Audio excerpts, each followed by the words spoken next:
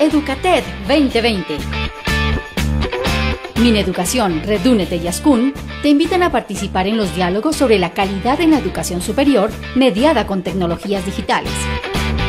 Del 30 de junio al 27 de agosto compartiremos en línea mediante talleres y plenarias saberes experienciales de las universidades de Red Únete y de expertos nacionales e internacionales.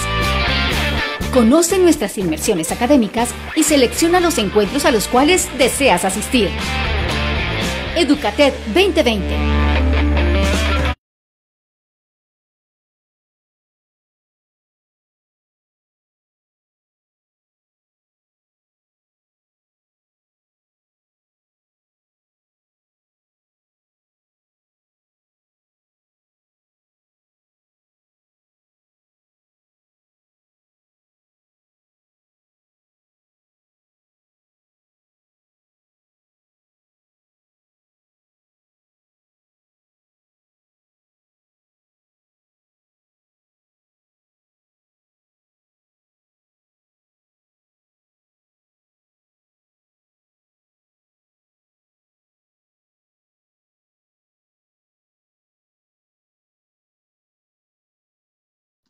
Ayer tuvimos la primera jornada de nuestra semana de inmersión.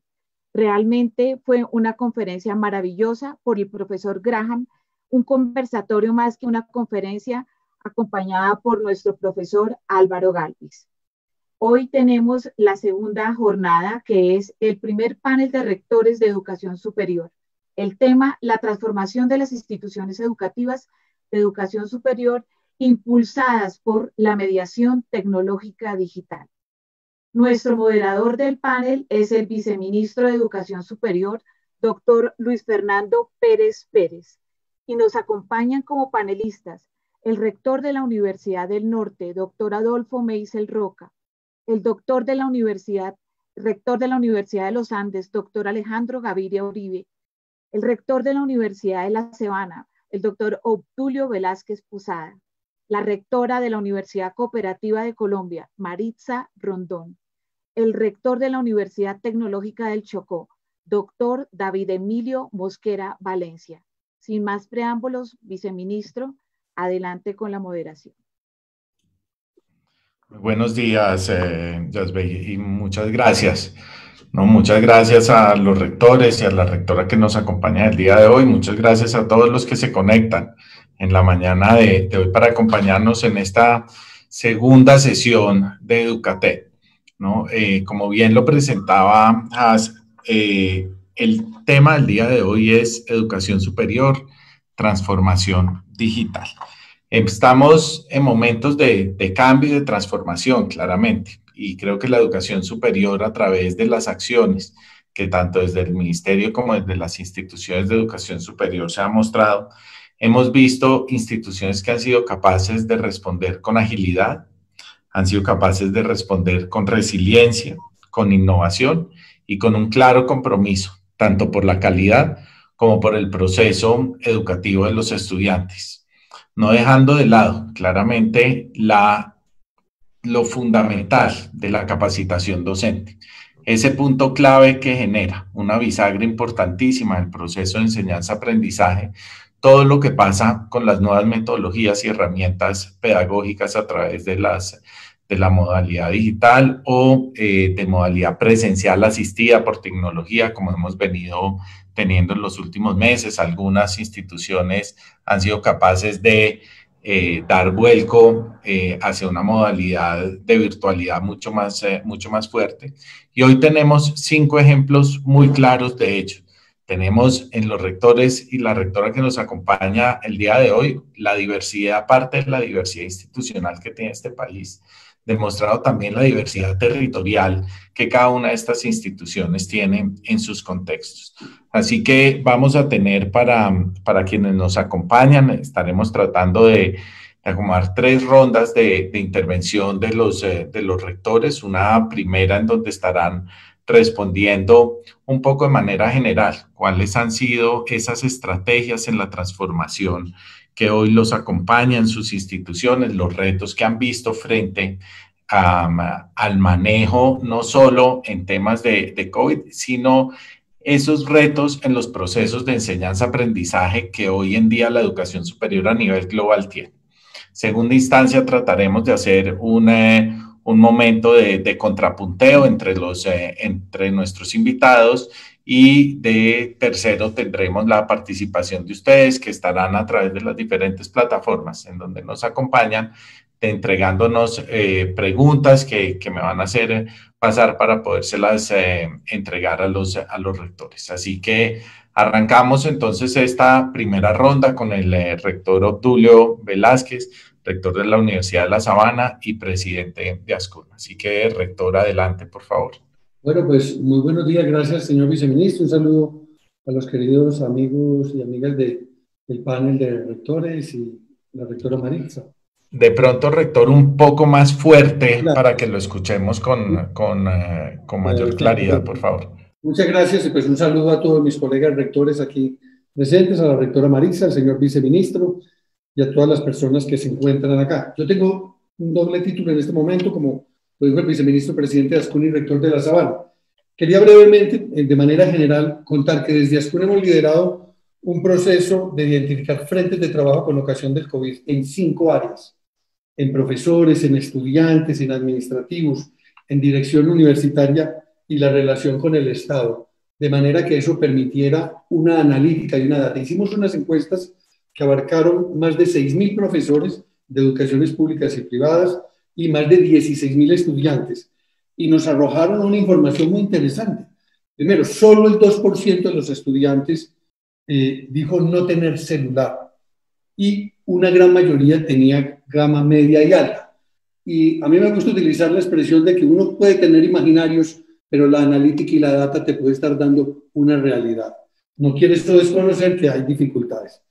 El 93% sí contaba con conexión a Internet y mm, el 65% había considerado que había desmejorado la docencia y, que había disminuido también un 45% opinó la participación en clase. Los profesores, en cambio, eh, solo el 1% dijo no haber avanzado en sus clases, es decir, y para el Ministerio y para la Educación Superior en Colombia es una nota importante. No se suspendieron las clases, solo el 1% quedó más o menos paralizado. Y bueno, hay en ese sentido pues cosas importantes. Pasando al tema de la Universidad de La Sabana, nosotros realmente mm, lo que veníamos era en un proceso de tradición y continuidad. Nosotros no tuvimos que interrumpir las clases para alistarnos al paso del COVID, sino que desde hacía ya más de una década habíamos desarrollado todo un ecosistema tecnología y cultura. En tecnología, pues una ERP, el, el, todo en, la nube, y habíamos desarrollado desde hace más de una década, precisamente Has Lady, la directora del Centro de Tecnologías para la Academia, un programa que se llama Virtual Sabana, una plataforma donde ordinariamente los profesores tenemos el acompañamiento, el complemento de las asignaturas y todos los que somos profesores, pues hacemos eso. Y eso permitió que nuestra universidad, con ese ecosistema y con esa cultura, pudiéramos pasar el domingo 15 de marzo, cuando se cerró uh, por parte del gobierno nacional eh, la, la, educación superior, el confinamiento, nosotros el lunes a las 7 de la mañana estábamos en clase. 79% del reporte de las clases se dictaron el lunes. Ya para el martes eh, subió al 94% y siguió así. Y lo mismo la asistencia de estudiantes. Ya hemos empezado el segundo semestre y yo ayer tuve uh, informaciones de la primera semana del 100% de las clases dictadas y 98% de los estudiantes que han asistido. Entonces, lo que hicimos fue simplemente cambiar de switch. Lo que era accesorio se volvió, digamos, el modo habitual, que era Virtual Sabana y toda la tecnología que todas las universidades tenemos al acceso a nuestras plataformas, Teams, eh, Collaborate, etcétera, que, que nos permiten um, interactuar de manera remota.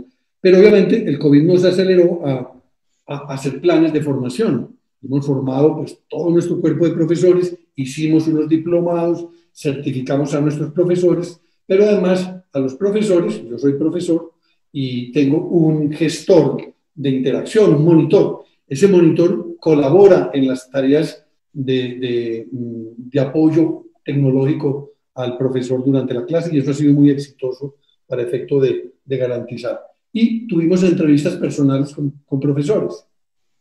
De manera que aquellos que eran como novatos, beginners, que, que, tenían un poco más de dificultad, Entonces hicimos una evaluación de su conexión, de su tecnología y evaluar sus capacidades. Para el segundo semestre, como muchas universidades en esa tendencia global, pues nos hemos dirigido hacia lo que se llama el High que es la, mm, la combinación entre presencial y remoto. Hemos hecho una inversión de infraestructura, de cámaras en las aulas de clase, de manera que se tenga la experiencia en la clase los que asisten y remotamente por vía cámara, con Zoom, etcétera, una experiencia muy distinta a la del primer semestre para los estudiantes.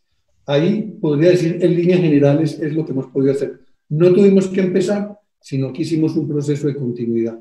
Le pedimos a los estudiantes, como yo soy profesor, le dije, era un martes, le dije a mi monitora, hágame evaluación, que mis estudiantes evalúen mi clase, porque yo estoy acostumbrado a ser un profesor TLT, tiza, lengua y tablero, y yo necesito eso.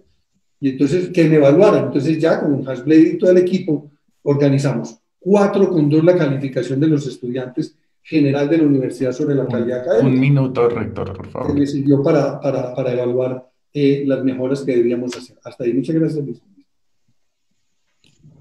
Muchas gracias, eh, rector. Continuamos con, uh, con la rectora Maritza.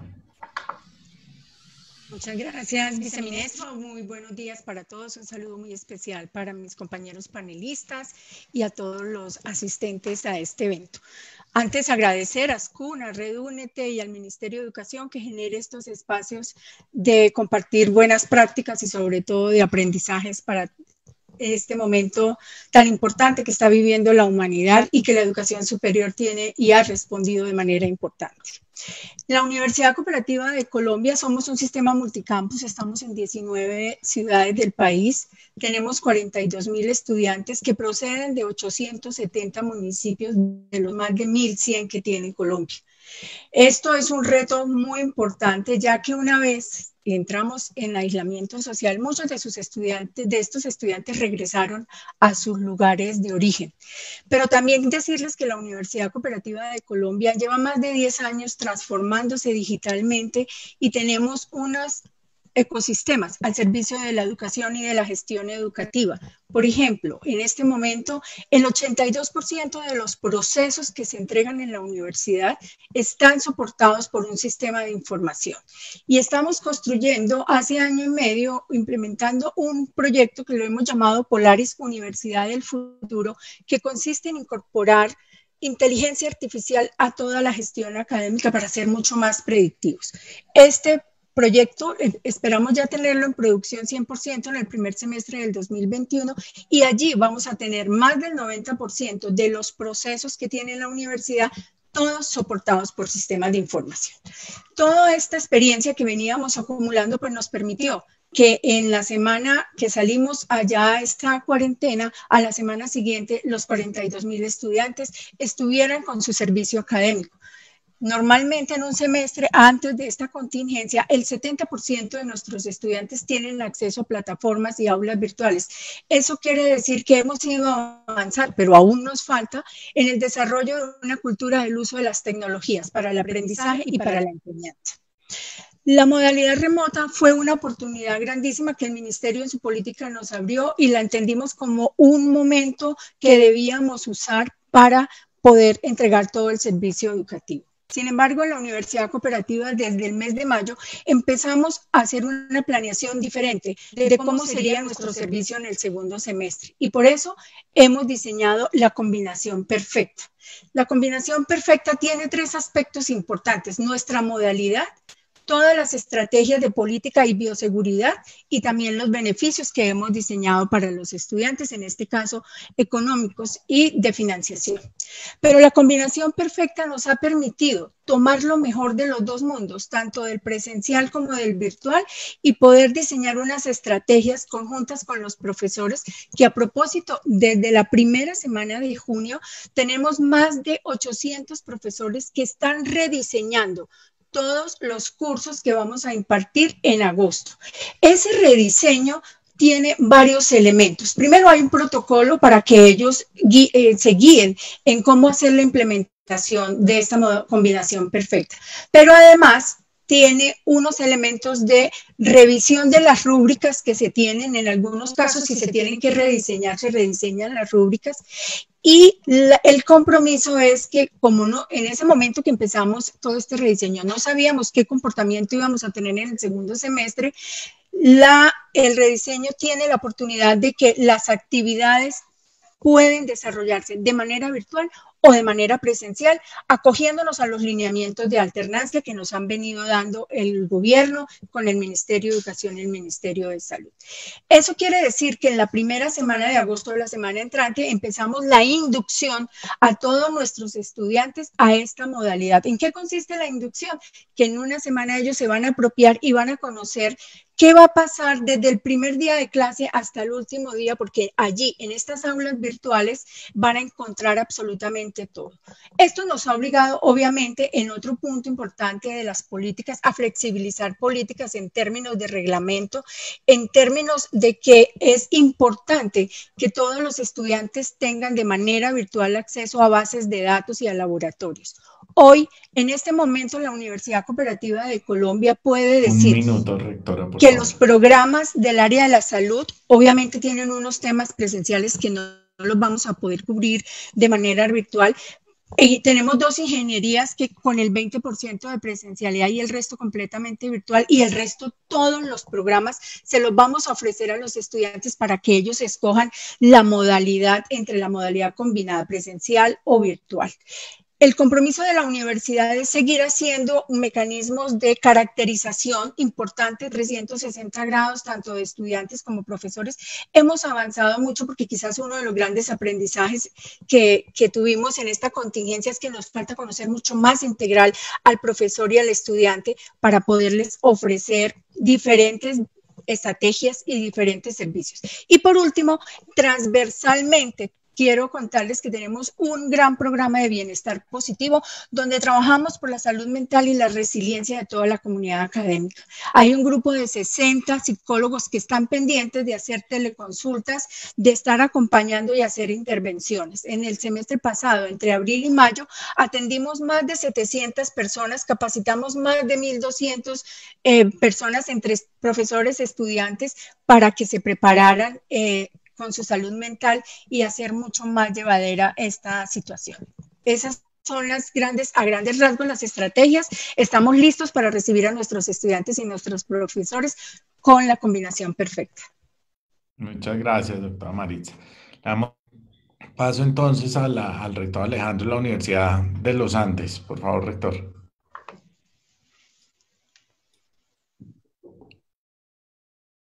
Muchas gracias, vice. Prendiendo mi micrófono que lo tenía apagado. Eh, muy buenos días a todos y todas, a quienes nos acompañan y a los compañeros de panel. Yo voy a tratar de ser concreto y tratar de transmitirles a todos una noción de los cambios que hemos puesto en práctica. Lo primero que valdría la pena decir tal vez es que hemos tenido que cambiar más en estos cinco meses de que probablemente en toda la década anterior.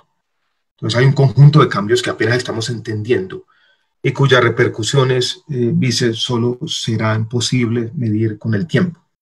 Y voy a seguir tal, tal vez un orden cronológico en mi presentación. Como todas las universidades, la Universidad de los Andes hace un tránsito muy rápido a la virtualidad el 16 de marzo.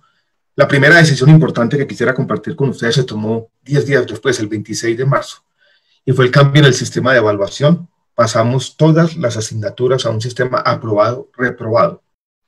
Adujimos en su momento razones de equidad, pero también quisimos promover un ambiente pedagógico distinto, más reflexivo. Nos pareció, y así lo quiero poner de presente hoy en día, una oportunidad interesante para plantear una conversación sobre la motivación intrínseca de los estudiantes y los incentivos del trabajo autónomo. Ese tránsito a un sistema distinto de evaluación y de calificación, yo creo que ha sido uno de los aprendizajes grandes que hemos tenido. Ese es el primer punto. El segundo punto y la segunda decisión que tomamos tuvo que ver con flexibilización, tanto en los temas de prueba académica hasta acreditación, dobles programas y demás. Nos dimos cuenta quizás que teníamos una sobre, sobre reglamentación de la trayectoria académica de los estudiantes. Una reflexión que quisiera traer, para todos es que nos gusta hablar, a todos los rectores, en general a todos ustedes en el ministerio también, del autodescubrimiento, del ensayo y error, de la posibilidad de tener pocas entradas y muchas salidas, de que los estudiantes vayan de alguna manera encontrando su camino en la educación superior. Pero somos todos, creo, demasiado rígidos y yo creo que los cambios a los que nos vimos abocados nos mostró esa rigidez. Una tercera decisión tiene que ver con la brecha digital, con los problemas de conectividad evidentes para todos. Nosotros tuvimos que entregar cientos de computadores, celulares, facilidades de conexión, incluso instrumentos musicales. Yo creo que la preponderancia de la brecha digital ha sido una de las grandes enseñanzas de esta crisis, no solo en la educación superior, y quiero decirlo aquí, me preocupan los efectos de largo plazo, la manera como la brecha digital que sigue existiendo, que va a impactar un poco lo que vamos a hacer en el segundo semestre, esa brecha se convierta en diferencias, en oportunidades para los estudiantes más tarde en la vida. Un cuarto punto que quisiera traer a la conversación tiene que ver con las decisiones que tomamos de capacitación de profesores. Hicimos 11 talleres, cada uno tenía cuatro sesiones diferentes, capacitamos más de 500 profesores. Capacitamos también 500 monitores de tecnología y la Universidad de los Andes tomó la decisión de adelantar un proceso que ya venía en ciernes y vamos a cambiar la plataforma digital por una plataforma más flexible, mejor y que entre otras cosas nos permite facilidades de analítica de datos que nos va a permitir entender casi en tiempo real cómo estamos haciendo las cosas. Pero un cuarto conjunto de acciones incluye entonces el cambio de plataforma y sobre todo la capacitación de profesores y la capacitación de monitores de tecnología. Tenemos 500 monitores de tecnología para empezar este semestre.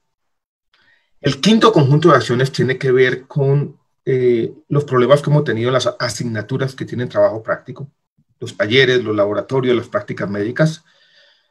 Eh, ahí tenemos un acumulado de problemas. No sabemos cuándo vamos a poder empezar en serio. Lo que hemos venido haciendo estos días es preparándonos para el momento en que podamos regresar parcialmente al campus, con una serie de acciones que hemos venido hablando con el ministerio, que incluye la caracterización de los factores de riesgo de toda la población, los protocolos de ingreso y salida del campus, un programa, un sistema de vigilancia epidemiológica interno, un plan de movilidad segura y demás. Todo esto lo hemos acompañado de una encuesta que hacemos periódicamente para entender el proceso de adaptación a la virtualidad de estudiantes y profesores. Esas encuestas nos han mostrado, y creo que las de AFCU muestran lo mismo, que el exceso de trabajo autónomo y los problemas de conectividad son tal vez de las dimensiones más problemáticas que tenemos. Las encuestas también muestran, tenemos que ser en esto realistas de manera más o menos obvia, cierta fatiga con la virtualidad y también mucha heterogeneidad en la adaptación por parte de profesores y por, parte de estudiantes. En todo caso, vice y todos, lo que hemos dicho es que estamos listos, estamos preparados y estamos presentes. Este es el momento del conocimiento, es el momento en que la educación superior tiene que estar más presente que nunca. Con eso permiso. Muchas, muchas gracias, eh, rector. Pasamos entonces a la, al rector eh, David Mosquera de la Universidad Tecnológica del Chocó. Adelante, rector desde Quito. Eh, muy buenos días a usted, viceministro, y a los compañeros de panel, a nuestros rectores rectora que nos acompañan hoy.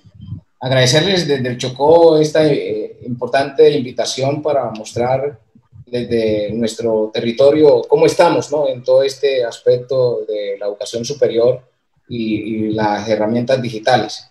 Es muy importante manifestar que nuestra universidad, que es una universidad relativamente joven, con 48 años de, existencia, tiene aproximadamente 11.000 estudiantes y que realmente en la pandemia pues nos encontró en un, en un esquema de transformación eh, producto de los últimos tres años desde que mi llegada a la universidad. Y en ese sentido nosotros nos dimos a la tarea, previo a, todo este proceso de pandemia, eh, nos dimos a la tarea de estructurar eh, la ecuación de la conectividad sustentable y sostenible en el tiempo y para la cual hicimos algunas acciones en las tres variables que la componen.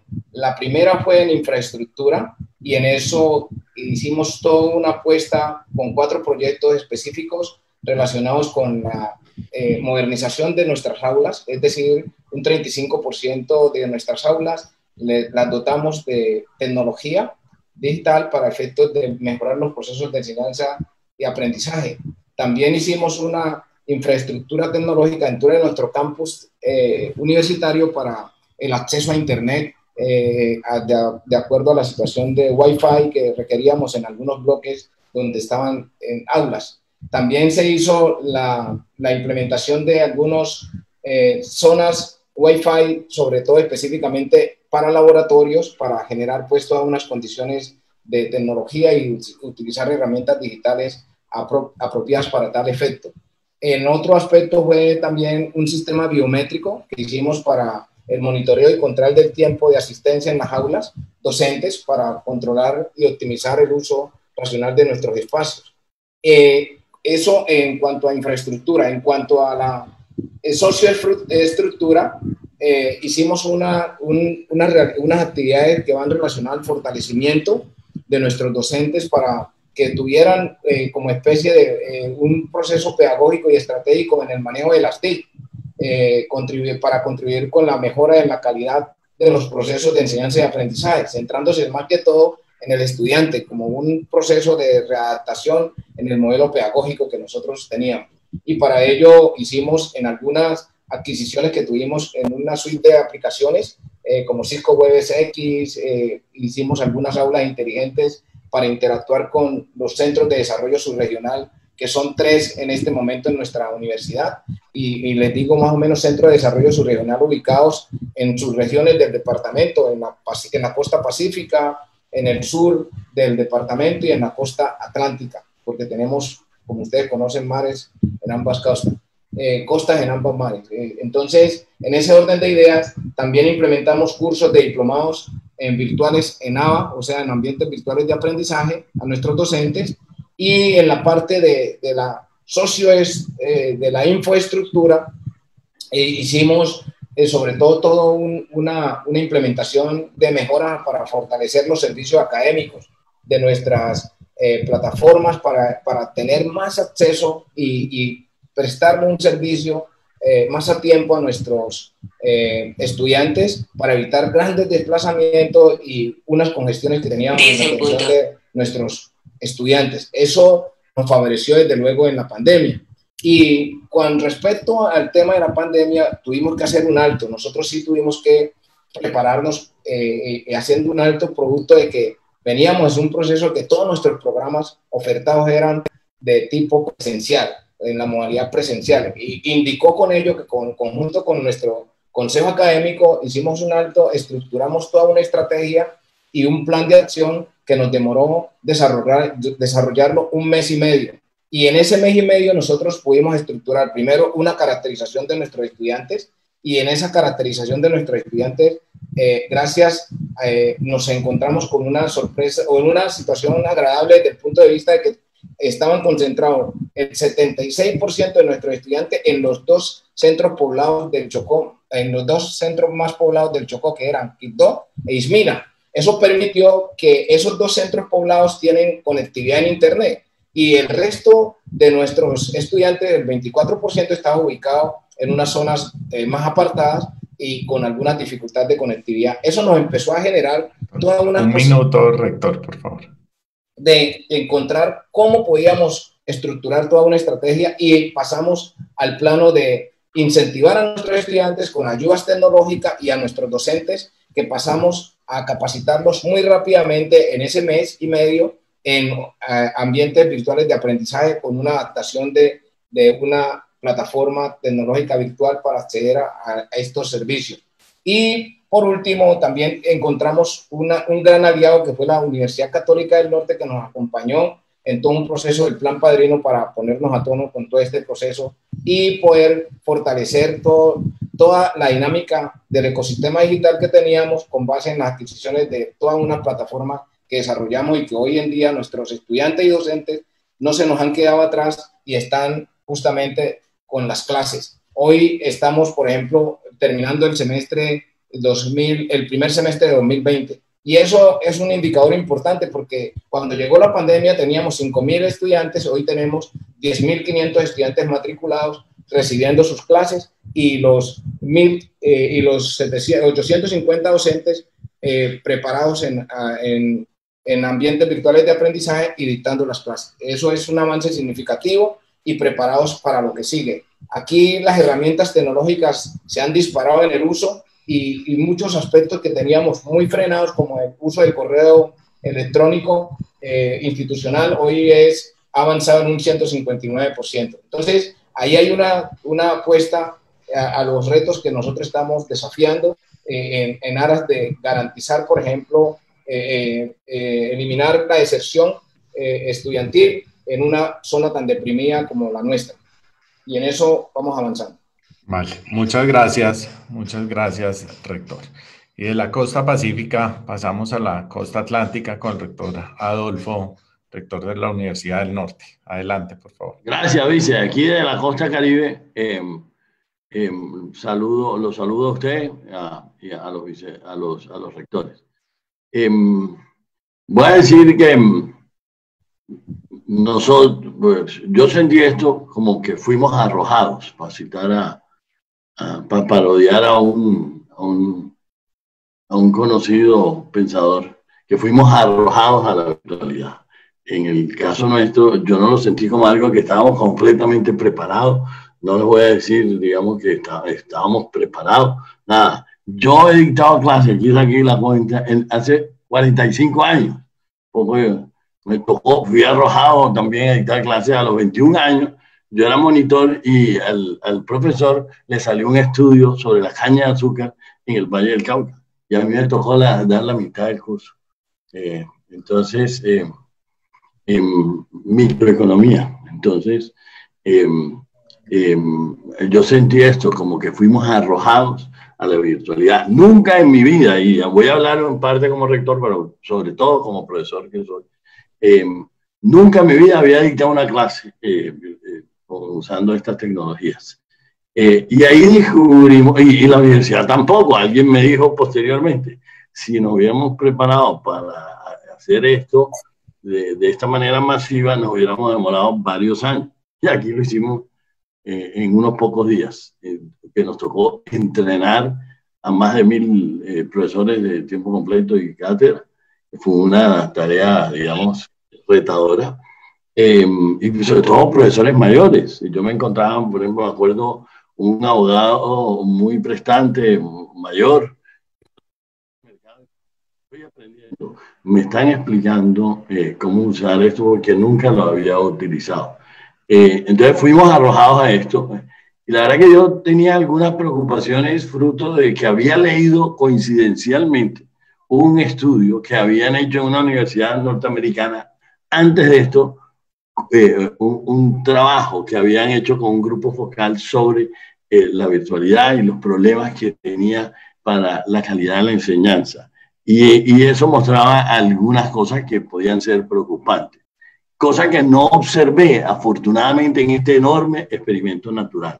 Entonces, eh, que había mucho incertidumbre de todos, estábamos siendo arrojados a esto sin ninguna preparación. Descubrimos que teníamos en la universidad una plataforma que es la que usan muchas de las principales universidades del país, muy poderosa, que teníamos la capacidad tecnológica eh, muy buena, pues la reforzamos también, pero teníamos muy buena capacidad tecnológica. Em, y que los estudiantes que tenían mucha incertidumbre y muchas preocupaciones, y yo veía los correos y las quejas y, se fueron adaptando. Eh, y después, em, ahora les, les, muestro, pero entonces el resultado final, porque ya tengo algunos resultados, es que em, los estudiantes al final ya estaban completamente adaptados a esto. Eh, el promedio de notas subió ligeramente 2.5%. Buen resultado. y, y, ninguna diferencia dramática con lo que, digamos, eh, con lo que eran, digamos, ya puntualmente, no solo el promedio, sino ya en, las diferentes áreas. Asistencia a clases subió, pues de eso no tengo las cifras eh, en este momento, pero sí es la percepción de que hay, es la percepción propia que tenía yo como, como profesor, a pesar de que ellos podían ver eh, las clases posteriormente, o sea, el que no se podía conectar por alguna razón en ese momento la podía ver después. Em, reprobación bajó, ese es uno de los factores de más preocupación de los estudiantes y de nosotros, digamos. Eh, la reprobación bajó eh, y hubo una ligera mejoría de la calificación de los profesores. Eh, estudiantes, y ahora estamos observando este semestre, eh, ya en la matrícula, que vamos muy bien, por cierto, eh, muy bien o excelente, que están prefiriendo, porque ellos tienen la opción, están prefiriendo la virtualidad. Entonces, ya la virtualidad no es problema. Al final del semestre, yo veía los, los correos y una cosa que los estudiantes estaban quejándose son cosas que tienen que ver, pienso yo, más que con eh, eh, eh, la, la, virtualidad, con la cuarentena en sí.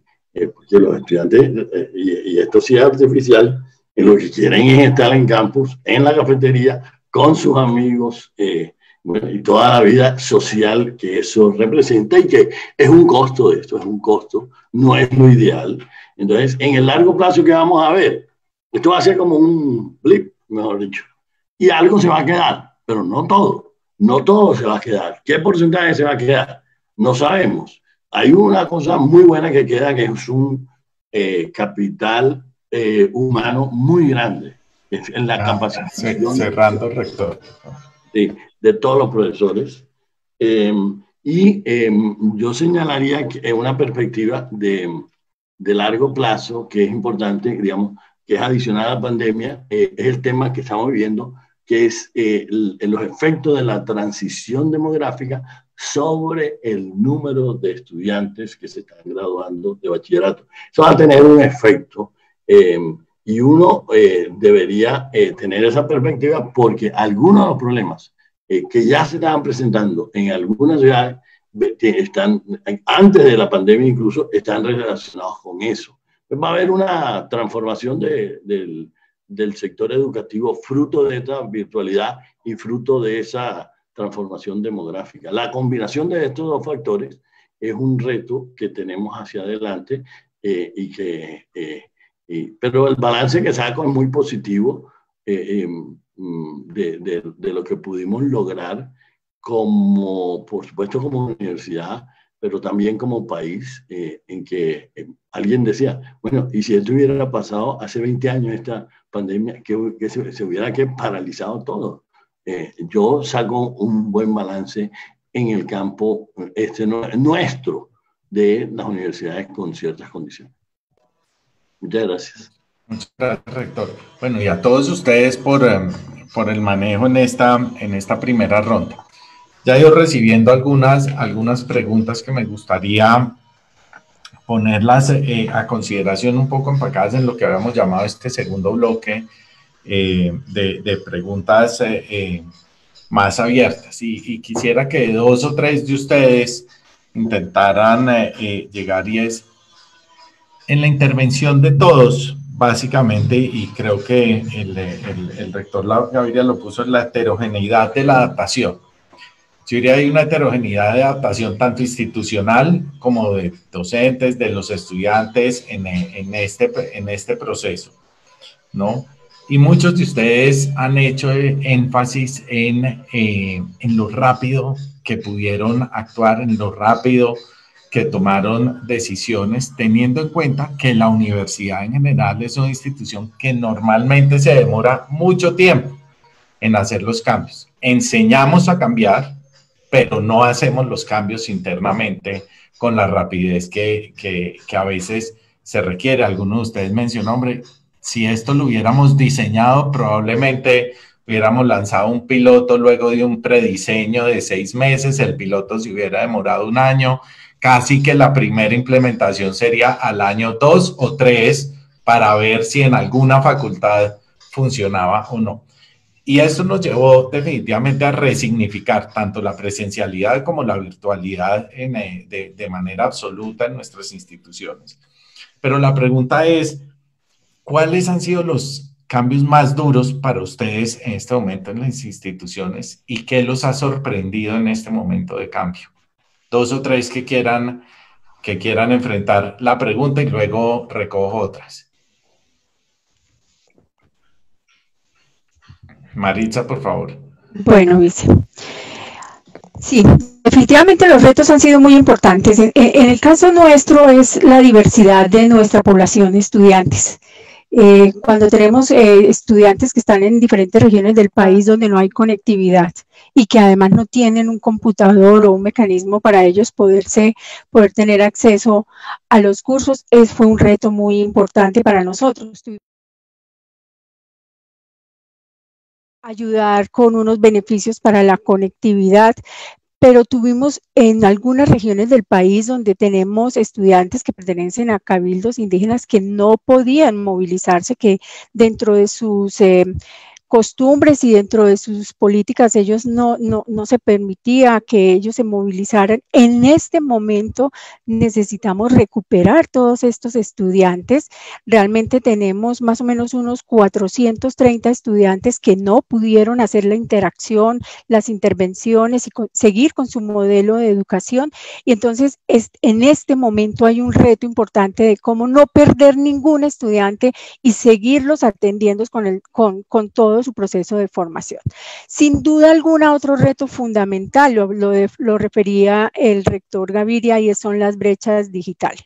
No solamente entre estudiantes, sino también entre los mismos eh, profesores, pero a eso hay que colocarle dos elementos importantes también como reto y es el trabajo autónomo, las disciplinas que generan todas estas eh, uso de tecnología y modalidades acompañado también de las diferentes situaciones familiares que estaban, entonces ya no están en una oficina, en un salón, están en su casa con sus hijos, son esposos, son padres, son, en fin, tienen diferentes roles y allí también tuvimos un, un elemento que fue muy importante para nosotros y que fue la salud mental y la resiliencia de las personas. Por eso activamos rápido el dispositivo de bienestar positivo para que las personas estuvieran un equilibrio.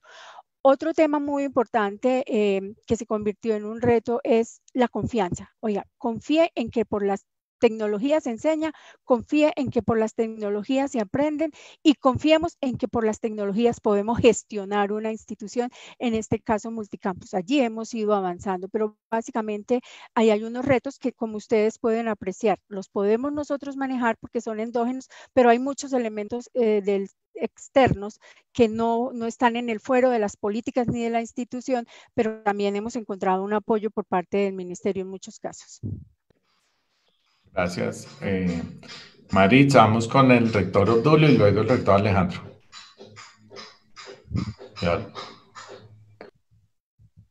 El micrófono. Maritza diría que mm, los temas psicológicos fueron un proceso difícil y un reto significativo. Ascofab sí eh, ha venido también trabajando en ese punto y nosotros tenemos una cosa que se llama la línea amiga desde hace muchos años, donde los estudiantes e incluso a veces padres de familia llaman en los momentos de, permanentes, está siempre abierta la línea amiga. Se incrementó mucho el tema.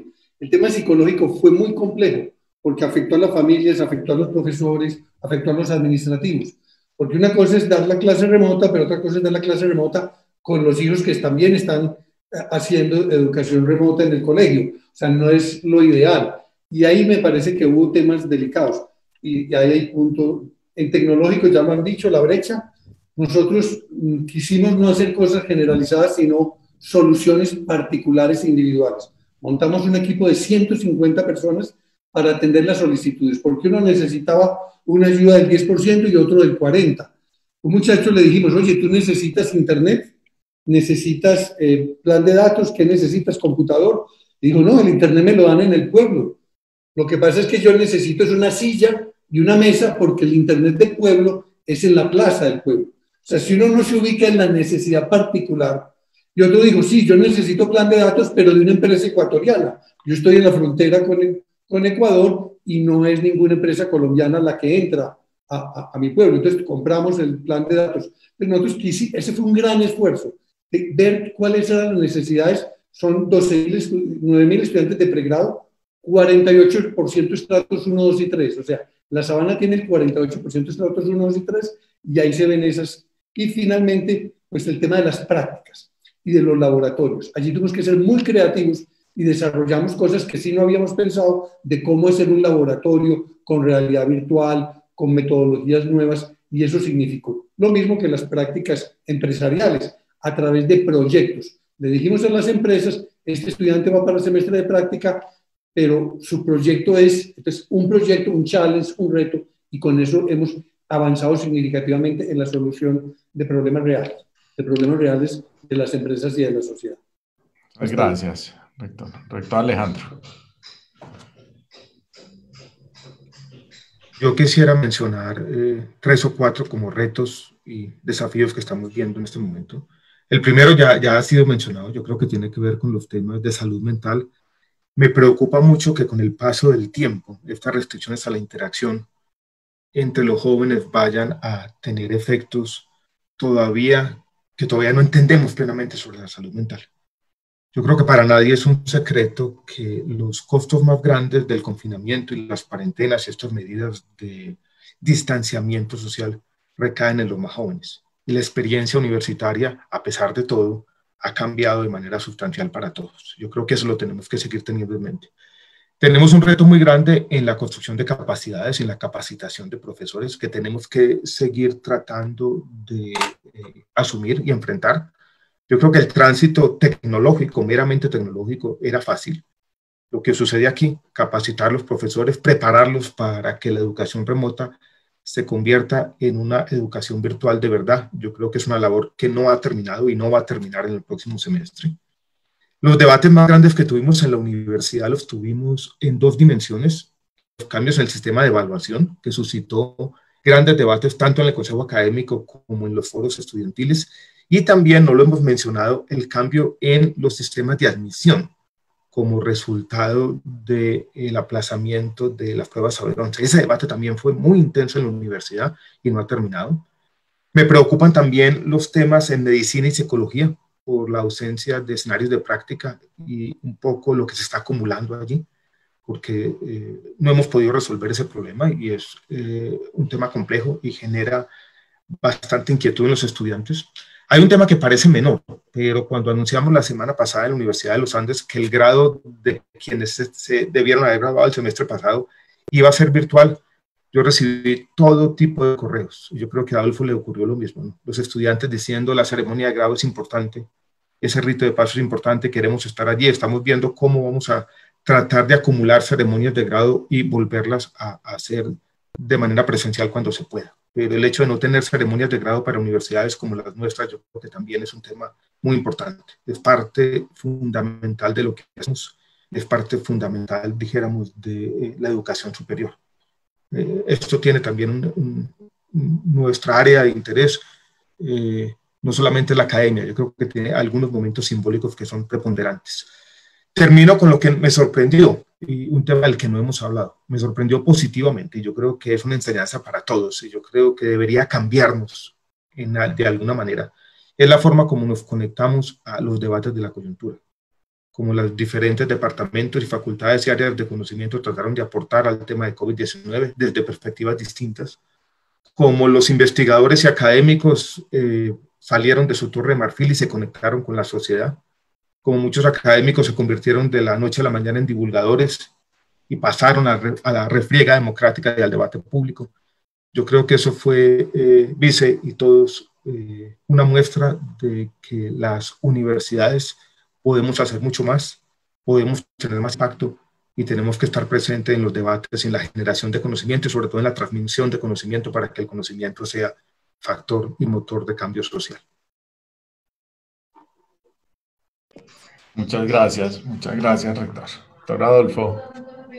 Sí, yo voy a señalar, yo voy a referir a, como ya han mencionado varios, yo me voy a referir eh, sobre todo a dos, eh, pero yo los tres que tenía apuntado aquí es el reto financiero, el reto del tema del bienestar emocional que, que ustedes se han referido, y por tanto no me voy a referir en detalle, y el tema del apoyo a la, a la comunidad eh, en esta crisis, a la ciudad, al departamento, en el caso nuestro y a la región también, y al país en el caso nuestro.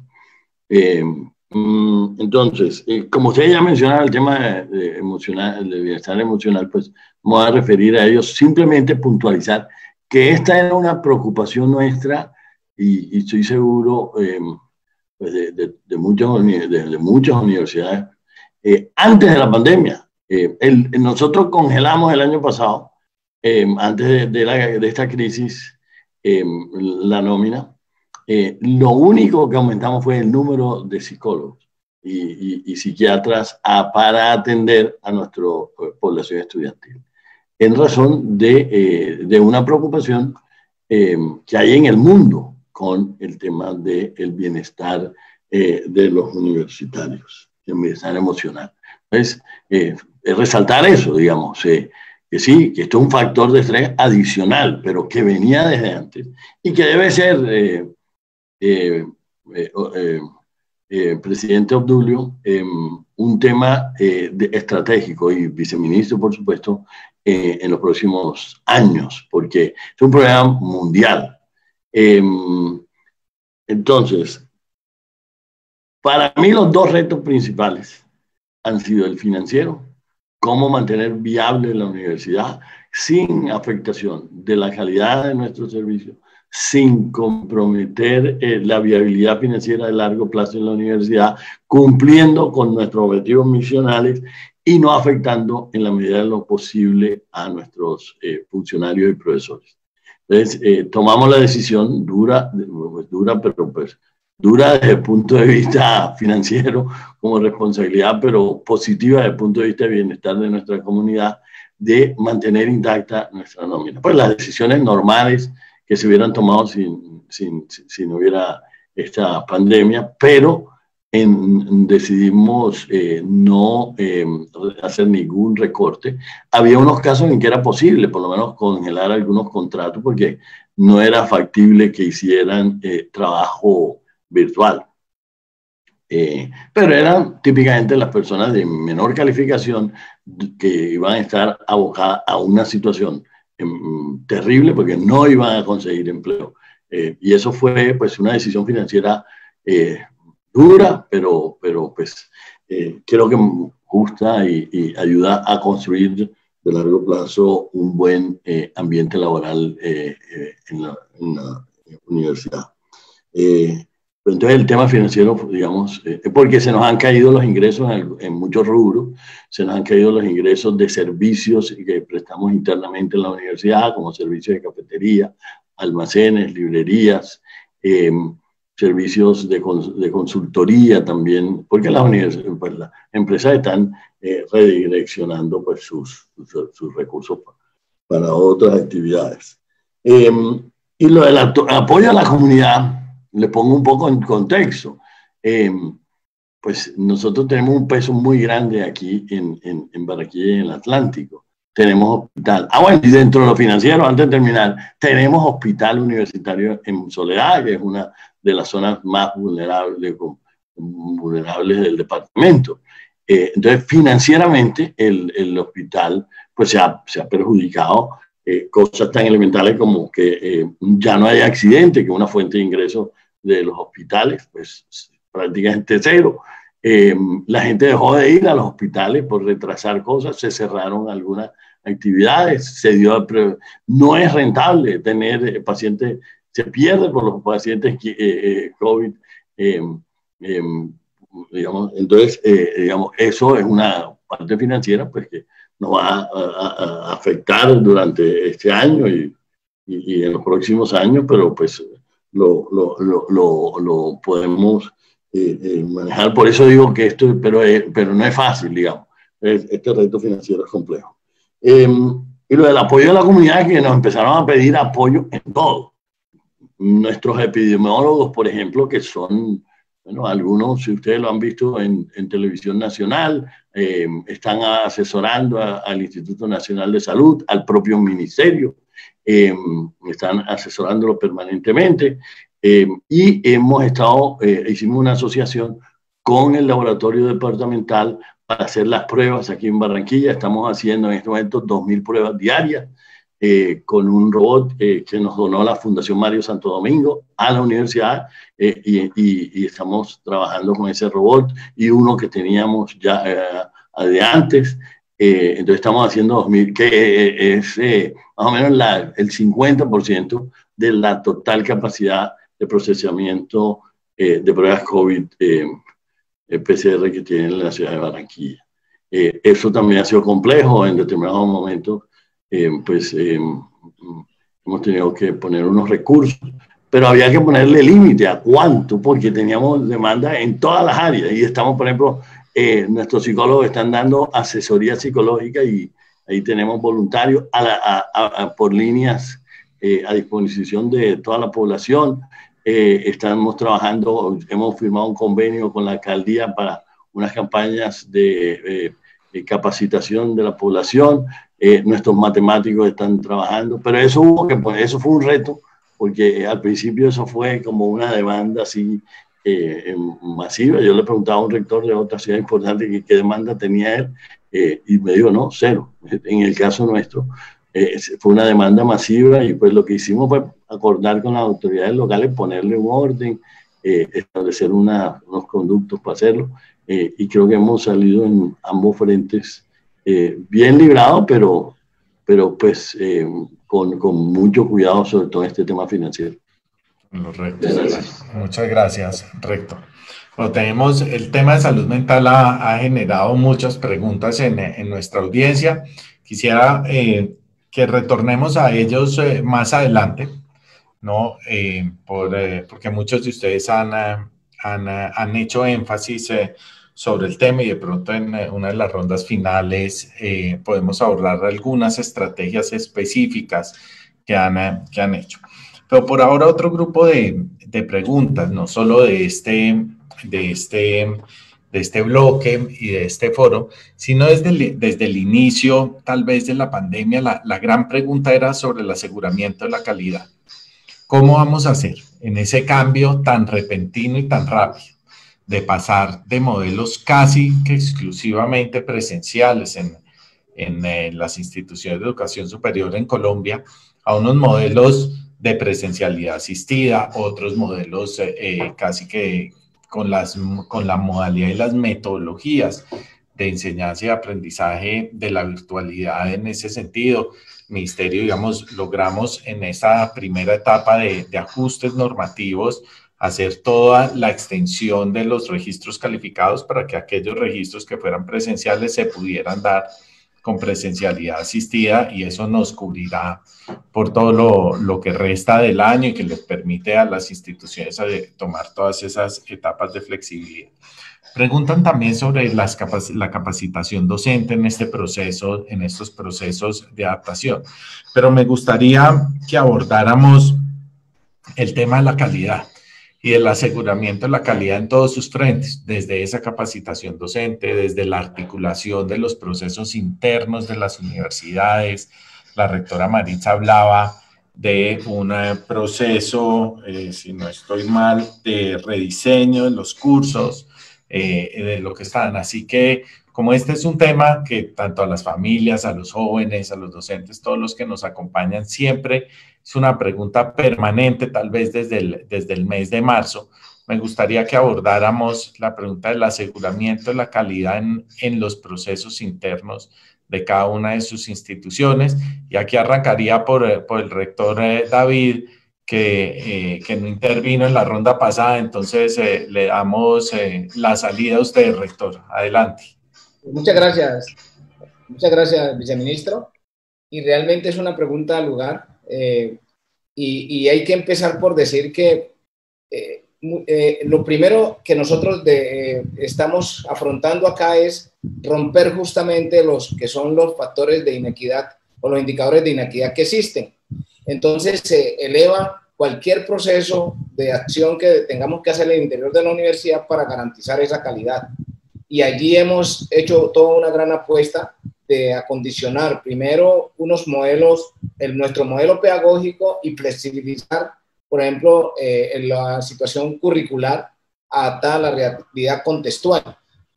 Y allí hemos hecho mucho énfasis en hacer algunos rediseños que se han hecho en relación con algunas asignaturas o cursos especiales. Y lo otro que es eh, que hemos eh, implementado también son los modelos de evaluación eh, de tal forma de que eh, pasemos muy rápido a la cualificación antes que a la cuantificación. Y allí hay una situación pues bastante eh, neurálgica. Y el otro proceso es justamente el paradigma de, indicar que estamos en una de las zonas, por ejemplo, cuando se habla de interconexión de Internet, más con mayor menores indicadores de conectividad. Entonces, ¿cómo nosotros lograr rápidamente con estrategias didácticas y estrategias alternativas superar cualquier dificultad que hay en ese sentido? Y allí hemos garantizado con algunos módulos, generando con expertos en la reacción de módulos muy rápidos para garantizar que el que no tenga el acceso a Internet en línea lo pueda hacer eh, de manera sincrónica con, con, algunos módulos bien estructurados para garantizar la calidad. Y el otro aspecto muy importante que son eh, el, tema de, de un incentivo constante a la comunidad académica, es decir, a nuestros estudiantes y a nuestros docentes en relación con el, el, la readaptación y, eh, con respecto al uso de las tecnologías de la información. Y sobre todo que, que uno empieza a descubrir en este mundo o, se descubre en este mundo la riqueza de conocimiento o de alternativas de acceder al conocimiento eh, de vanguardia. Y allí, por ejemplo, eh, generar condiciones de apertura y de intercambio con otras universidades. Una de las situaciones que yo he podido eh, observar dentro de, dentro de nuestro quehacer a través de la virtualidad o a través de la mediación de las TIC es la riqueza eh, eh, en foros y, participación activa de docentes y estudiantes con docentes de otras universidades y con personalidades connotadas del país que están, por ejemplo, tenemos que están interactuando varios días en diferentes aspectos del conocimiento como por ejemplo tenemos un magistrado del Consejo de Estado que tiene una cátedra todos los viernes a las 2 eh, eh, en relación con varios temas de actualidad donde participan diferentes profesores y estudiantes asignados. Y al mismo tiempo, eh, por ejemplo, en, la Facultad de Salud hemos desarrollado toda una estrategia de formación al personal médico y paramédico para atender el COVID, la COVID. Y, el otro proceso muy importante, y aquí yo quiero hacer un gran énfasis, es que justamente a través de, de este, de, de, de, la pandemia, nosotros pudimos lograr eh, participar como en dos o tres convocatorias que nos están habilitando tres laboratorios de alta calidad con equipos de alta tecnología, uno de ellos de microbiología, de, de biología molecular para las pruebas COVID que estamos en unos 20 días de ya empezar a, a ejercerlas acá otro de un centro de investigación de la biodiversidad y otro de un centro de un laboratorio para el procesamiento para la calidad de alimentos. Eso nos habilita y, y, nos pone a punto para efectos de garantizar unos procesos de formación de alta calidad de nuestros estudiantes y, y de, de, paso eh, la formación permanente eh, y de vanguardia de nuestros docentes en estos temas neurálgicos para el proceso de la educación superior en Colombia y ejercer los procesos de calidad eh, a, más, a unos grandes rasgos. Yo diría que, que nosotros, eh, como alguien lo, lo, expresó, eh, avanzamos lo que teníamos que avanzar en cinco años, lo avanzamos en, en un semestre en, en, relación con todo este tema de la implementación digital. Muchas gracias. Gracias, eh, gracias, rector David. Entonces, para cambiar el orden, rector Alejandro.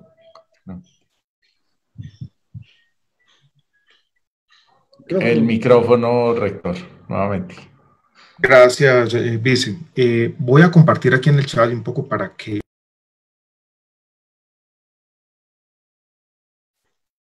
Eh, se mutió otra vez, rector. Se le, se le saltó el, el, micrófono, rector, no lo estamos escuchando. Perdón, que se Listo. Eh, ahora sí estoy al aire. Ahora sí.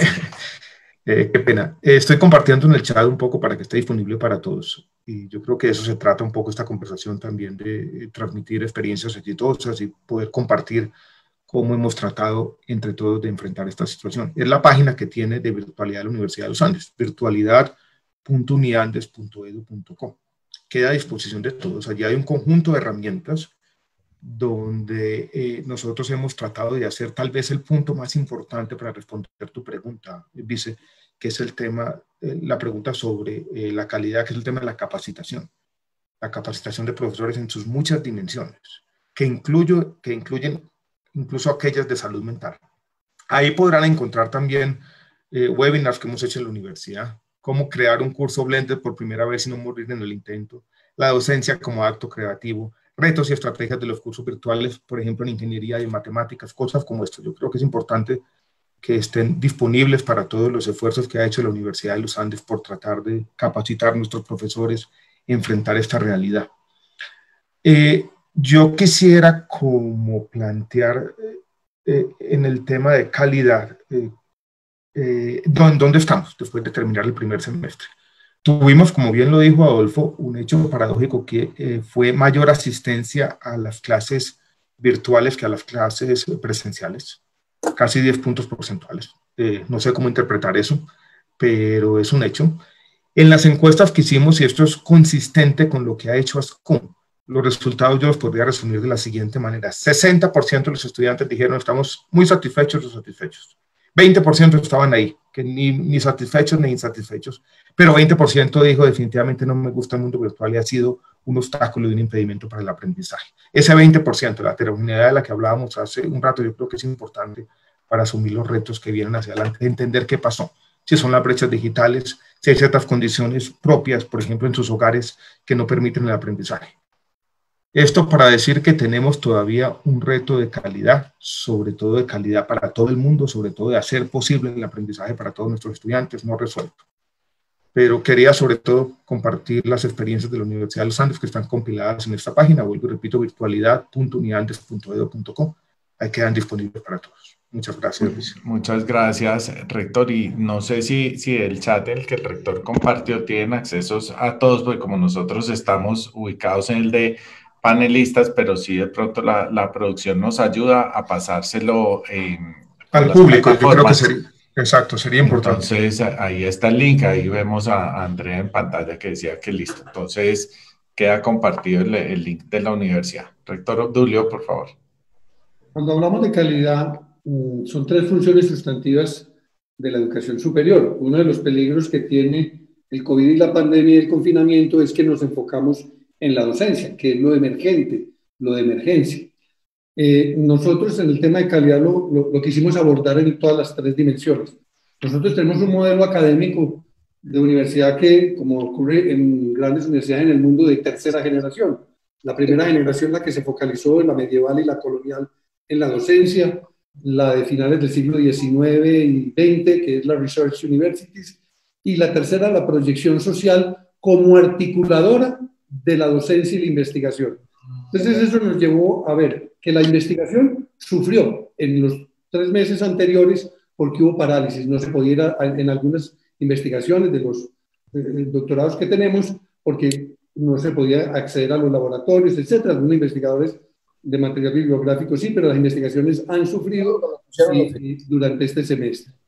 Eh, pero lo importante era la docencia, tiene aspectos teóricos, de, práctica y podría decir de internacionalización. Los teóricos, los contenidos teóricos se desarrollaron de manera remota sin gran dificultad. Las clases prácticas tuvieron que repensarse y hay un gran cambio. Por ejemplo, en ciencias de la salud teníamos un hospital simulado de unos 300 metros, lo ampliamos a 400 metros. O sea, es todo un cambio. O el Centro de Producción Audiovisual y Multimedios. Entonces, realidad virtual, eh, eh, de manera que el modo de hacer un laboratorio cambió significativamente. Y las prácticas, como la proyección social es el eje articulador, la solución de problemas reales que tienen que ir a la docencia y la investigación, tuvimos un acelerado significativo, porque, por ejemplo, los ventiladores, que es un tema de conocimiento nacional, nuestro equipo de investigación de ingeniería y medicina desarrollaron, estamos desarrollando un ventilador que está en la fase final, ya estamos hoy precisamente en la fase de uso con humanos, con la autorización de INVIMA, que obtuvimos, y ya se despacharon unos a Chocó, otros, etcétera. O sea, ¿eso qué hizo? Vamos a solucionar problemas reales. Y los estudiantes han participado en la solución de problemas reales. No se quedaron en su casa, en su pijama, sino que salen allá. Es la cuarta revolución industrial en la que venimos todos inmersos y creo que eso nos ha llevado. Y también a colaborar y ser solidarios. O sea, el plan padrino que nos invitó el, el ministerio con el que hemos colaborado para transmitir esas buenas experiencias. Diría entonces que en síntesis, Docencia, investigación y proyección social son la calidad y todas esas tres las tuvimos que atender. Y creo que la proyección social nos ayudó en calidad. Y la calificación en lo docente de nuestros estudiantes de 4,2 de cada clase Cada clase al terminar se evalúa, pues nos dice que estamos haciendo bien desde el punto de vista docente la tarea dentro de las dificultades que tiene la pandemia. Muchas, muchas gracias, rector. Pasamos entonces al rector Adolfo para cambiar también el orden de remate las intervenciones y, que la rectora Maritza nos quede al final. Muchas gracias, vice. No, el tema, yo insistiría en que esto es un reto de, de la calidad de la educación global, en el sentido en que no es lo ideal, digamos, es lo que, eh, digamos, eh, es lo que nos ha tocado hacerlo y afortunadamente lo pudimos hacer. Pero hay muchas otras cosas que se están perdiendo. Señalaría lo que dicen los psicólogos evolutivos, y creo que los estudiantes aprenden más de sus compañeros que los profesores muchas veces. Eh, uno, si un compañero, uno admira intelectualmente, le dice que se lea un libro, se lo lee y, intercambia cosas. Eh, em, mm, si, los, si los amigos dicen que un libro es bueno o una película es buena, uno le pone atención, pues, porque, porque uno ya filtra, el profesor uno no sabe, digamos, y, hay, eh, eh, y hay esa interacción, por ejemplo, antes de la clase, después de la clase, yo como profesor lo veo todo el tiempo. los estudiantes me abordan en el pasillo o cuando vamos saliendo. Oye, profesor, yo estoy en tal curso, estoy haciendo trabajo sobre esto. Yo le quisiera preguntar, ¿quién me recomienda que me lea de eso? Eh, y uno ahí, y eso lo hacían. Yo me acuerdo de un profesor que yo admiraba mucho, Manuel Ramírez. Eh, yo una vez le dije a Manuel Ramírez que estaba haciendo un trabajo sobre, quería hacer un trabajo de distribución de ingresos, creo profesor de pues, un economista muy destacado que ya ha fallecido. Y Manuel Ramírez, que era pues un profesor muy destacado que uno admiraba mucho, yo era un estudiante de tercer semestre. Me dijo, bueno, voy a pensar, a la siguiente clase me trajo una lista de puño y letra de, de una bibliografía que me recomendaba, que se había hecho. Y eso me sirvió mucho para el trabajo. Eh, eso es invaluable para uno. Yo eso todavía lo recuerdo así, la generosidad de Manuel en ese sentido, de haberle dedicado tiempo para orientarme y pude hacer el trabajo sin, mayor dificultad, con una asesoría inmejorable, eh, con uno de los mejores economistas de, este país. Em, entonces, eh, esas cosas em, se están perdiendo. Eh, lo que ellos hablan, bueno, y, la vida social. Em, los eventos que se hacen, eh, las conferencistas que, que, traemos y que ellos interactúan. Mm, por ejemplo, nosotros realizamos el GEI Uninorte, que traemos tres conferencistas de, primera talla eh, todos los años aquí a la universidad y ellos hablan, lo llevan, van a la cafetería, almuerzan con, con, estos profesores. Eso se está perdiendo. Mm, así que sí, queremos volver, queremos volver todos a, a, a la presencialidad más temprano que tarde. Gracias, gracias, rector. Doctora Maritza, adelante. Bueno, vice, el tema de, de, la calidad es un tema muy interesante y antes de entrar a hablar de la calidad yo quisiera hacer dos precisiones. Eh, y son Maritza, perdón, cuando, cuando te ajustaste el micrófono te escuchamos mucho mejor. ¿Aquí está mejor? Perfecto, gracias. Bueno, muchas gracias. Le decía que antes de entrar a hablar del concepto de calidad y cómo lo hemos trabajado en la universidad, quiero eh, compartir dos discusiones que hemos tenido a, nivel interno con nuestros equipos y es entender que la modalidad no condiciona la calidad. Es decir, independiente que haya cualquier modalidad, necesitamos trabajar todos los elementos de calidad.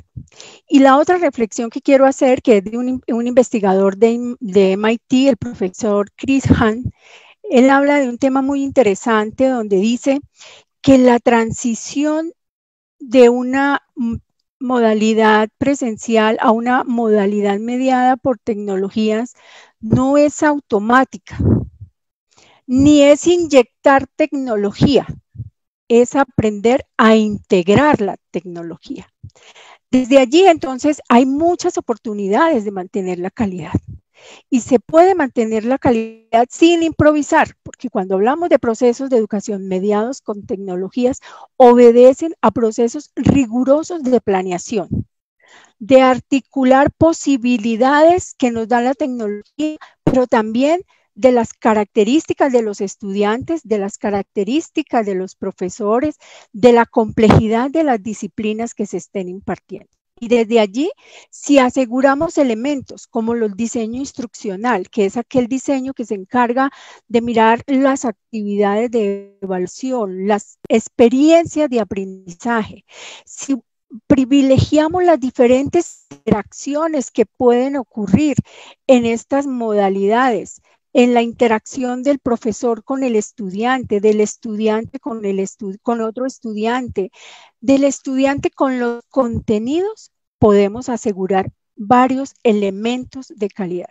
Pero además un tema muy interesante que también nos puede permitir y nos da cuando trabajamos con incorporación de tecnologías es un seguimiento un, seguimiento a la labor que hace el profesor, a la acción que hace el estudiante, pero un seguimiento que sea predictivo, que no tengamos que llegar hasta el final del proceso para decir se fueron, perdieron, cancelaron. No, es como de alguna manera con todos estos recursos tecnológicos que están surgiendo, como les decía, en la Universidad Cooperativa de Colombia tenemos un proyecto de incorporación de inteligencia artificial para hacer predictivos. Es como toda esta analítica, que también le escuché el término al doctor Gaviria, cómo nosotros la gestionamos anticipándonos para lograr acompañar al estudiante quién es el que administra su aprendizaje para lograr acompañar al profesor que administra la enseñanza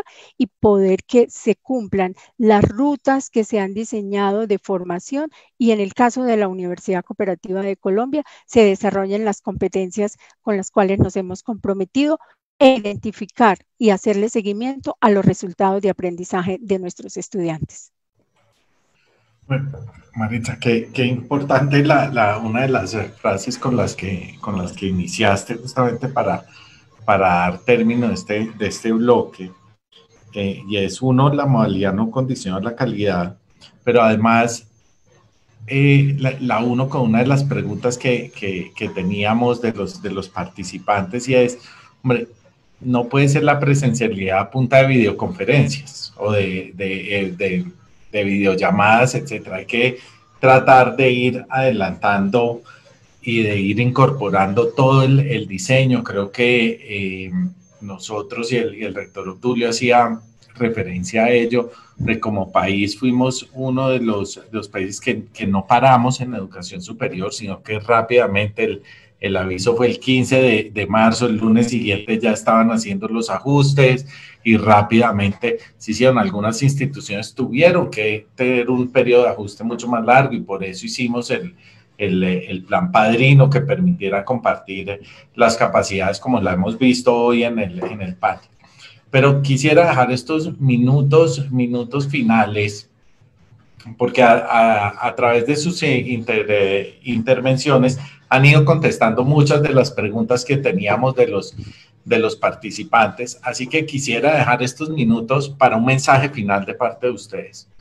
Un mensaje de lo que ha significado, de lo que significa de aquí a diciembre hacer parte de la educación superior, de combatir el miedo que le genera a veces a las familias y a nuestros jóvenes ingresar a la universidad, a la educación superior en este momento cuando las condiciones no son ciertas del todo, porque podemos tener en este periodo de alternancia unos momentos de, de mayor presencialidad, pero claramente este inicio de semestre será un, un momento eh, de mayor virtualidad.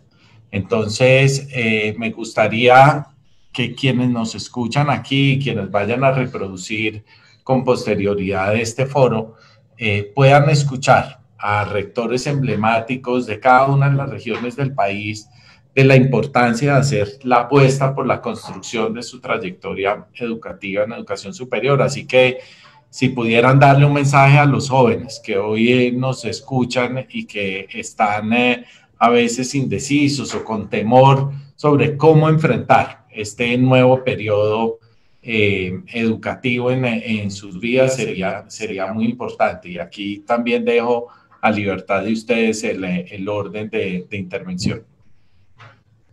Rector Obdulio. Gracias, viceministro. Efectivamente, eh, una sociedad, una familia y una persona, su, talante se, se descubre y se forma en la adversidad. Si nosotros perdemos esta oportunidad de enfrentar la adversidad y aprovechar para crecer en ella, hemos perdido una oportunidad de oro, porque la humanidad nunca había estado en una condición de adversidad global como la que tenemos. Hay una definición de virtud, de la paciencia, soportar el mal presente sin tristeza desordenada. Eso lo dicen los clásicos, para alcanzar el bien según el, el recto dictamen de la razón. Definición clásica. Paciencia, saber padecer, saber sufrir las consecuencias y saber enfrentarse hacia ellas. La, invitación es a que eso lo hagan. Los nuevos reclutadores, los nuevos empleadores, después del COVID, te van a preguntar, me van a preguntar, ¿cómo lo enfrentaste? Yo cuando haga las entrevistas, si yo veo que esa persona aplazó estudios, no por razones económicas u otro tipo de razones justificadas, sino a esperar qué pasa, esa persona no tiene asiento en mi empresa, porque no es una persona que la necesito para el post-COVID, no supo enfrentarse a eso.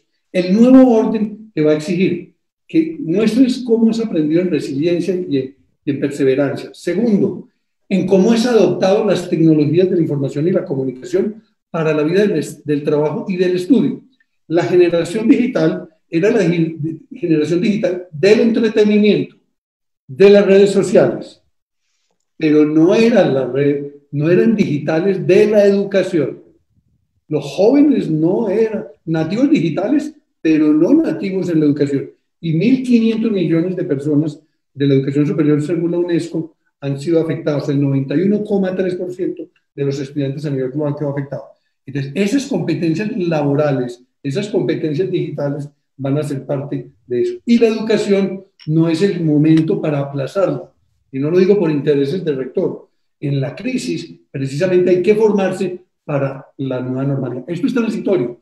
Puede que dure todo este resto de año y que la normalidad normal, ese regreso al pasado o ese nuevo futuro, pues sin máscaras en la, en, la cara y, y en la mano, pues que eso sea ya el año entrante, pues mm, eso se va a dar y ahí tenemos que ya estar educados y formados. Aprovechar para formarse y educarse en los tiempos de crisis es como las grandes sociedades han salido adelante. Muchas gracias, eh, rector Odulio. El rector David a pedir la palabra, luego el rector Adolfo.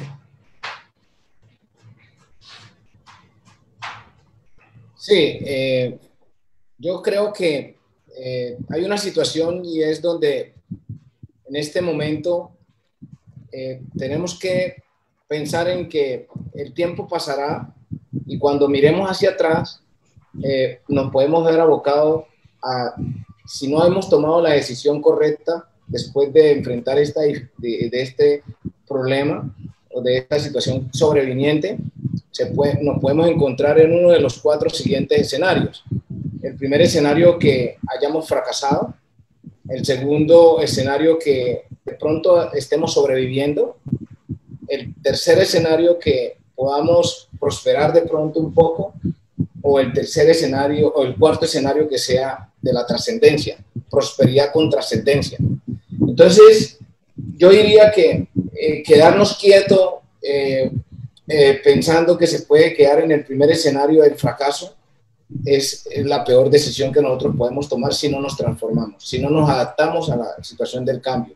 Entonces, por eso yo conllevo y combino a, los estudiantes, combino a los docentes, a padres de familia, que debemos justamente es avanzar para que en un tiempo que haya transcurrido, nosotros miremos hacia atrás y encontremos que pudimos trascender en el tiempo, que pudimos trascender y pudimos superar la situación de pandemia.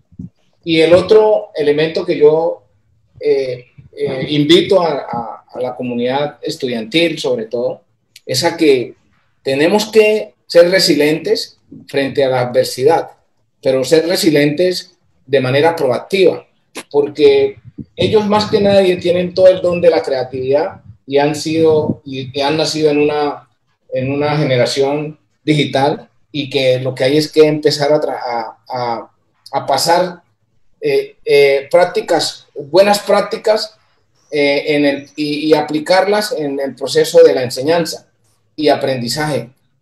No que ese tiempo que perdemos en el chat, ese tiempo que perdemos de pronto en lo no importante, se traslade a ese tiempo masivo para adquirir nuevos conocimientos y aprovechar, diría yo, toda esta tecnología para bien, para el proceso de formación. Entonces, ahí diría que estaríamos adelantando todo un proceso de transformación eh, positivo en cada una de las acciones que tomemos a futuro, ¿no? Y hoy para el futuro. Así es que esa es mi invitación cordial que le hago a, a nuestros jóvenes. Muchas gracias, rector David. Vamos entonces con el rector Adolfo, la rectora Maritza y terminamos con el rector Alejandro y les recomiendo el manejo del tiempo que ya llegamos al, al final. ¿Cuántos minutos dicen? 30 segundos, rector.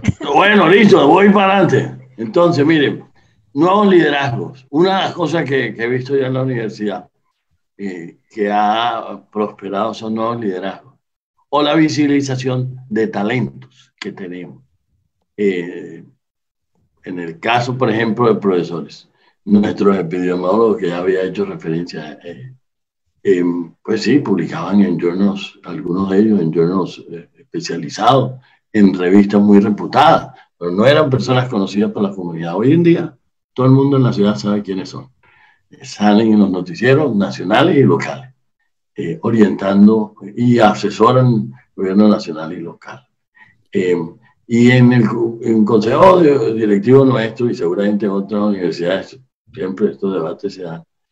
Siempre a veces se da el debate entre aquellos que piensan que uno tiene que siempre tener eh, investigación que sea inmediatamente práctica, que publiquen en journals, cuando mostramos los journals especializados en que publiquen. Entonces, no, eh, y siempre he defendido, eh, por supuesto, el conocimiento ese puro eh, especializado en buenos journals. Eh, y entonces, en esta coyuntura, esos profesores, ante el reto, han respondido porque tienen los conocimientos de frontera.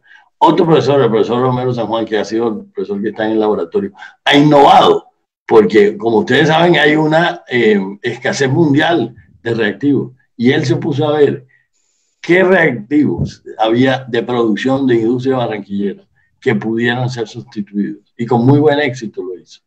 Eh, entonces eso nos permitió eh, avanzar en el procesamiento de las pruebas cuando eh, no se estaban procesando.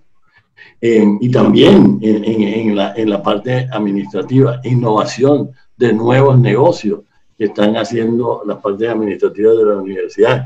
hemos, hemos hecho una revisión de los gastos más pequeños para eh, repensarlos eh, y, y, y, y, volvernos lo más eficiente desde el punto de vista costo-beneficio. Eh, entonces, eso, y, la gente sale con ideas, los decanos, los vicerrectores, los, los profesores, y las buenas ideas, pues tratamos de acogerlas. Ojalá que todas las buenas ideas las acojamos siempre. Salen buenas ideas y salen, bueno, una vez tiene de 10 ideas, si una es buena, vamos bien. Entonces, eh, va a tocar dejarlo ahí, rector. Sí, no, lo dejo ahí. Vale. Tres minutos. eh, Maritza, por favor. Gracias, Vice. Bueno, mensajes muchos. Primero de gratitud a los profesores, estudiantes y a toda la comunidad que le apostó a este proceso y que pudimos en muchas universidades, y no fue en todas, cerrar el semestre académico. Decirles que un mensaje central de humildad y de confianza eh, humildad en que todos podemos aportar y confianza en creer que fueron oportunidades independiente de las adversidades que ha vivido la humanidad hay muchas oportunidades para reinventarnos, pero reinventarnos de verdad y en ese sentido documentamos, escribamos para que la historia o nosotros mismos cuando miremos la historia veamos que realmente se contribuyó a salir de esta situación. Pero además quiero hacer dos comentarios antes de cerrar. Uno es que en estos días leí una una definición de aprendizaje en el informe de Horizon eh, Report 2020 y decía que el aprendizaje es una práctica individual y un esfuerzo colectivo. Y yo creo que esto es un elemento que tenemos que fortalecer y aprovechar en este momento. Y el último mensaje que quiero decir, Vice, es invitar nuevamente que el plan padrino sigue, que las instituciones necesitamos seguir acompañando y seguir aprendiendo de manera colaborativa y de manera solidaria. Entonces, el segundo semestre, el plan padrino se tiene que fortalecer y que sigamos todos unidos para poder finalizar este año con un sistema educativo fortalecido y con muchos aprendizajes. Muchas gracias, Maritza, y terminamos con el rector Alejandro. Gracias, Luis Fernando. Yo diría cuatro mensajes rápidamente. El primero, y es que eh, yo creo que tenemos todos que darnos cuenta que este es un proceso de adaptación esto no es un tema de dos meses, de tres meses, de cuatro meses, sino un poco más. No va a haber un antes y un después marcado por una vacuna. Y en ese proceso de adaptación, las normas sociales de cuidado por el otro. Es la época de la solidaridad. Yo creo que ese es un primer mensaje que daría. Lo segundo es que este también es el momento del conocimiento, es el momento para ser optimista sobre el mundo de las ideas, es el momento para ser optimista sobre la capacidad de discernimiento que está en las universidades y que es fundamental para transformar la sociedad.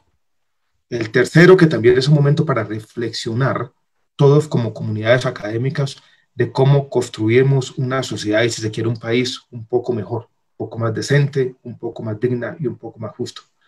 Y para terminar, decirles a los estudiantes y a los profesores que nuestra vida universitaria tomará un tiempo en volver a ser lo que fue, pero seguramente volveremos siendo, teniendo una mayor conciencia de la solidaridad, de la necesidad de tener un impacto mayor en la sociedad y la necesidad de ser, como lo hemos sido en el pasado, pero aún más factores de transformación.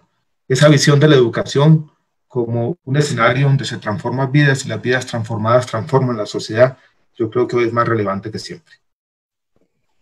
Muchas gracias, rector. Bueno, muchas gracias. Aquí veo a Has que se unió ya y prendió su pantalla. Perdón por habernos pasado estos minuticos adicionales, pero creo que hemos disfrutado todos y espero que todos los que nos acompañaron el día de hoy hayan disfrutado este gran conversatorio con, con los rectores, dándonos un mensaje muy fuerte de lo que ha sido ese trabajo colectivo que hemos establecido entre el ministerio, las instituciones de educación superior, su resiliencia, su agilidad en los procesos de cambio, la solidaridad con la que han enfrentado en el sector de educación superior este, este, este momento y ese mensaje de fortaleza de nuestro sistema de educación superior enfrentando los grandes retos. Y un agradecimiento muy especial a los intérpretes que nos acompañan del ENSOR, quienes acompañan cada uno de los eventos del Ministerio de Educación y nos permiten de una manera inclusiva hacerle llegar el mensaje a quienes en este momento no nos pueden eh, escuchar.